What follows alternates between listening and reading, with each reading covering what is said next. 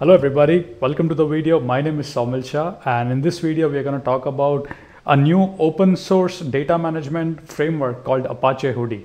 If you don't know anything about Apache Hudi, don't worry, we'll essentially guide you and there are some beautiful labs about Apache Hudi coming forward. This is the first part, rather introduction about Apache Hudi. So let's uh, get started. So I'll share my screen quickly. So hopefully you guys are able to see my screen, right? Many organizations build data lakes on Amazon Simple Storage Service, also called as S3, using a modern architecture for scalable and cost-effective solution. Open source storage formats like Parquet, Avro are commonly used and the data is stored in these format uh, as immutable files. As data lake expanded to additional use cases, there are still some use cases that that are very difficult with the data lake such as CDC, change data capture, time travel, querying point in time data, privacy regulation requiring deletion of the data, concurrent writes and consistency regarding handling small, uh, small file problems. The solution to that is Apache Hudi. Again, before we uh, read about Apache Hudi, there are other stuff as well. For example, there's something called Delta Lakes. You also have Apache Iceberg. But uh, again, Apache Hudi is one of the most popular, uh, widely adopted. Okay, so I'm gonna read a little bit definition for you. Apache Hudi is an open source data management framework used to simplify incremental data processing and data pipeline development. This framework, this framework more efficiently manages business requirement like data lifecycle and improves the data quality. Hudi enables you to manage data at the record level in Amazon S3 data lakes to simplify change data capture CDC and streaming data ingestion and helps you to handle data privacy use cases requiring record level updates and deletes. Dataset uh, datasets managed by Hudi are stored in S3 using an open storage format, while integration with Presto, Apache Hive, Apache Spark, and AWS Glue Data Catalog gives you a near real-time access to updated data using familiar tools. This is the diagram that I have taken from the official website of Hudi.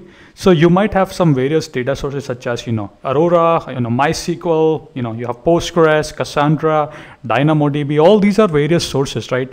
Which, uh, again, businesses and microservices are using in our day-to-day -day life. On the bottom section, what you see is a, is a lake storage. Again, uh, if you're on AWS, you might be using S3, HDFS, uh, Azure, um, you know, uh, uh, lake storage or whatever that is. I'm going to focus primarily on S3. So again, you, the organizations are going to create their lake. Hudi data lake, again, it sits on the top of S3. So essentially the data is stored in the, um, again, open source Hudi format, right? So now they essentially keep a track of all the metadata. They helps you to essentially do updates, insert, etc., etc., etc. Now you can leverage uh, existing tools such as Amazon Athena, Redshift, all these stuff that you can leverage on top of uh, this, right? So again, uh, it's an open source, very widely adopted. Uh, you could build um, the Hudi pipeline using Flink, Hive, Spark. I'm gonna focus more on Apache uh, Spark. That's the area where I would focus using Glue.